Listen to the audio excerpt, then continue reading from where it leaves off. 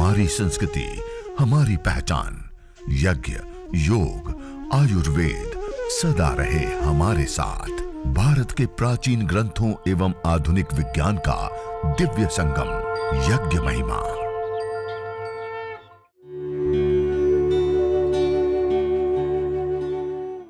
भारतीय संस्कृति में यज्ञ, योग एवं आयुर्वेद जैसी अमूल्य विद्याएँ हैं, जिसका मूल है वेद। इतिहास की ओर दृष्टि डालें तो भगवान राम, भगवान कृष्ण से लेकर राजा महाराजाओं, ग्रामवासियों व अरण्यवासी ऋषियों की कुटियों तक नित्य व नैमित्तिक यज्ञों का प्रचलन देखने को मिलता है।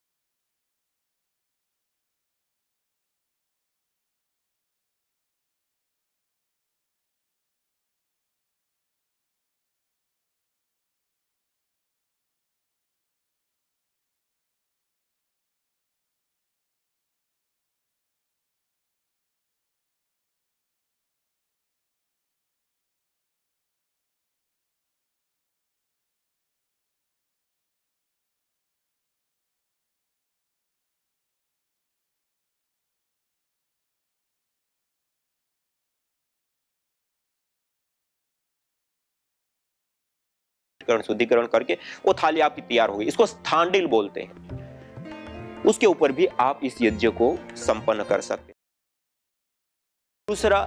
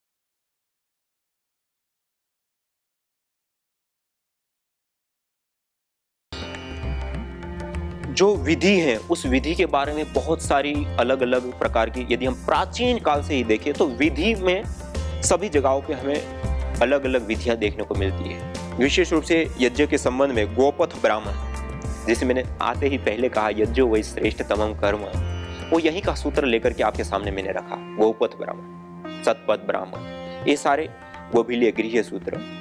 ये सारी जो पुस्तकें हैं उसके अंदर भी, जैसे ये गोपथ ब्राह्मण है, उसमें भी विशेष रूप से पंद्रहवीं कंडिका में पूरा यज्ञ का, अग्निहोत्र का, दैनिक अग्निहोत्र का विवरण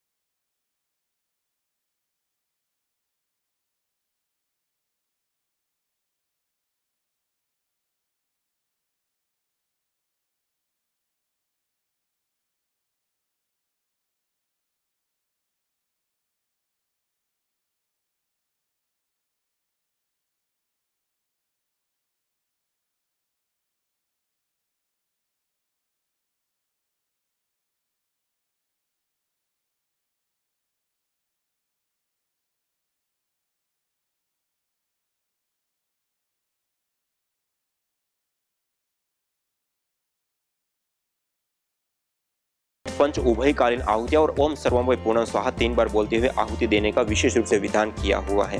तो इन सोलह आहुतियों को इसी प्रकार से जब हम संस्कार विधि को देखते हैं तो संस्कार विधि में और थोड़ा सा अलग वर्णन मिलता है। उसमें आपो ज्योति रसोमृतम ब्रह्म भूर्भुव स्वरोम स्वाहा से आगे और तीन मंत्र या मेधाम, विश्वानिदेव, अग्निनय, इन तीन को और शामिल करते हुए और ओम सर्वम वै पूर्णम स्वाहा को अलग करते हुए सोलह आहुतियों का वर्णन किया हुआ है। इसी प्रकार हम सत्यार्थ प्रकाश में देखें तो सत्यार्थ प्रकाश में भी विशेष करके तीसरे समूल्लास के अंदर यज्ञ की विधि के बारे में वहाँ पे बताया गया है और यहाँ पर विशेष करके पाँच मंत्र दिए गए हैं।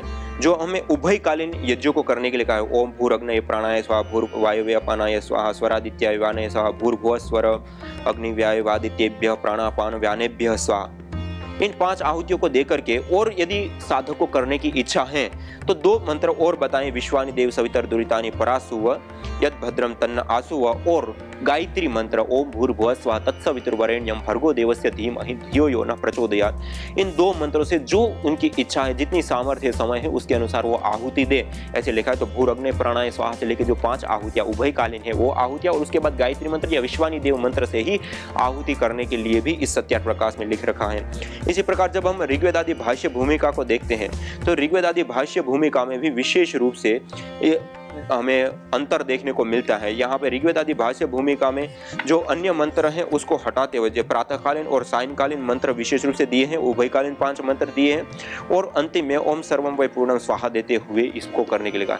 मानी स्वामी दयानंद सरस्वती जी ने भी जो यज्ञ की पद्धति प्रक्रिया हमें बताई है उसमें भी हर शास्त्र में उन्होंने अलग अलग रूप में बताने का प्रयास किया है। क्योंकि किसी की सामर्थ्य कुछ है, किसी की सामर्थ्य कुछ है, हर परिवार कोई अमीर है, कोई गरीब है, कोई किसी भी स्थिति में है। लेकिन यज्ञ अनिवार्य रूप से बताया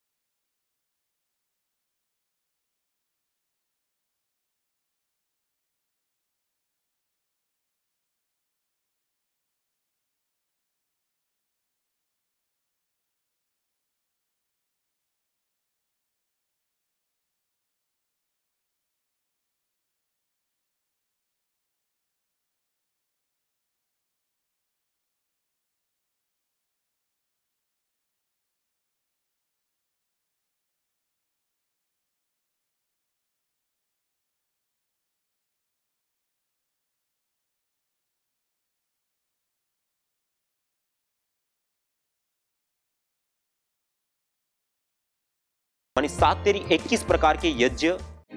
यज्ञ भारतीय संस्कृति का मूल है। तो आइए हम संकल्प लें संसार के श्रेष्ठतम कर्म यज्ञ को अपनाएँ। पिंड और ब्रह्मांड में संतुलन कायम करने वाले यज्ञ को अपने जीवन का अभिन्न अंग बनाएँ एवं प्रकृति माँ के प्रति अपने ऋणों को अदा करें। विश्व स्वास्थ्य का एक नारा यज्ञ से होगा जग उजियारा। भारतीय संस्कृति की अमूल्य विरासत, यज्ञ की महिमा को जानने हेतु। वैदिक चैनल पर प्रतिदिन प्रातः एवं सायं साढ़े ग्यारह बजे यज्ञ महिमा कार्यक्रम से जुड़े। विशेष जानकारी हेतु संपर्क करें। मोबाइल नौ शून्य छह आठ पाँच छह पाँच तीन शून्य छह।